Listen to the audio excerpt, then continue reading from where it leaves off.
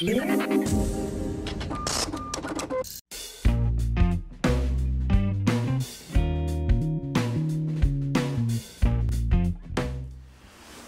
ciudades y resolver los problemas públicos de las ciudades requieren un perspectivas de largo plazo y sobre todo eh, reflexiones alrededor de la sostenibilidad.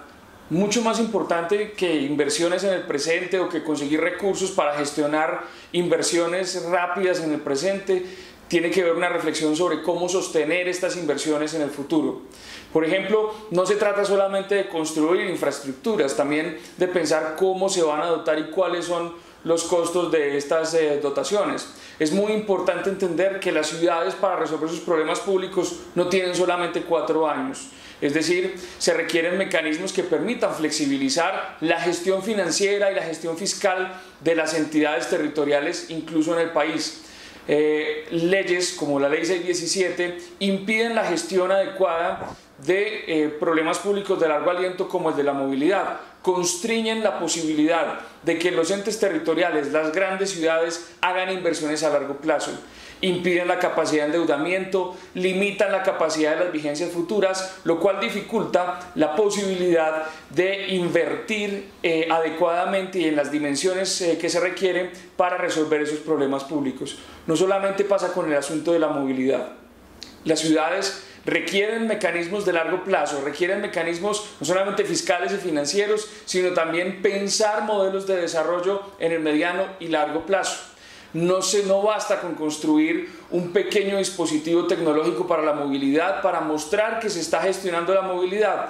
Se debe pensar un sistema eh, complejo, se debe pensar la ciudad como un sistema complejo, mucho más allá de coyunturas eh, puntuales y de necesidades apremiantes. A veces los márgenes de gobierno de cuatro años impiden pensar estrategias de largo plazo que en realidad impacten de fondo los problemas públicos de las ciudades. Asuntos también, por ejemplo, como el del medio ambiente, no se resuelven de un momento a otro. La calidad del aire es un asunto que convoca a diferentes actores de todas las ciudades, pero también convoca diferentes eh, eh, instrumentos para la gestión, eh, no solamente de un gobierno.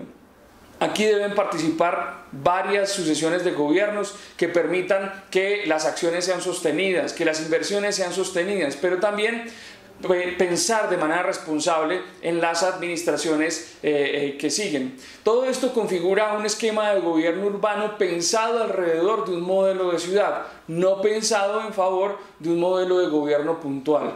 Esto es el reto principal que tienen todas las ciudades del mundo, no solamente las ciudades colombianas, no solamente la ciudad de Bogotá, no solamente la ciudad de Medellín, todas las ciudades en el mundo tienen el reto de pensarse en el largo plazo y hacer grandes inversiones, inversiones en el presente pero que sean sostenibles en el futuro. Las ciudades colombianas entonces con estas limitaciones presupuestales eh, se ven muy limitadas para poder responder a los problemas públicos de sus ciudadanos. esta debe ser una reflexión incluso a nivel nacional donde eh, se evalúe cuáles son las herramientas que le vamos a entregar a las ciudades, a los centros urbanos en el país, para que puedan gestionar mejor todas sus, todos sus retos y todas sus metas.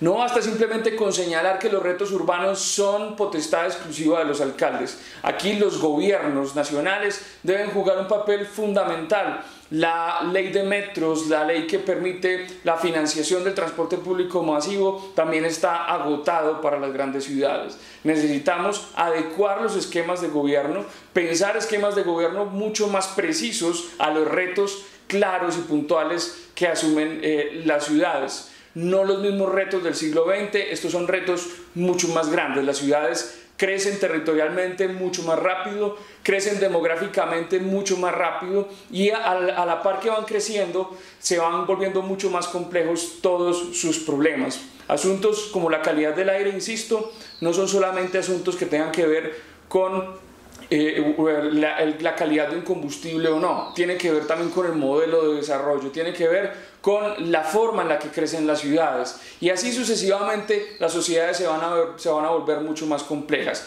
El reto para el gobierno urbano, para el gobierno de las ciudades en Colombia, tendrá que ver con adecuar las instituciones verdaderamente a instrumentos que puedan dar respuestas de largo plazo.